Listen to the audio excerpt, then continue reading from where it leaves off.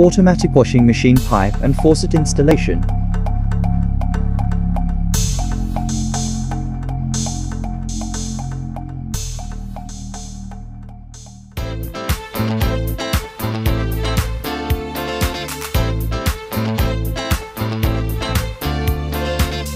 First, turn off the main water valve.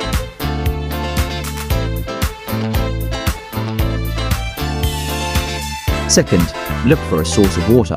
In this video, we'll use the bathroom water faucet connection as a source for our project.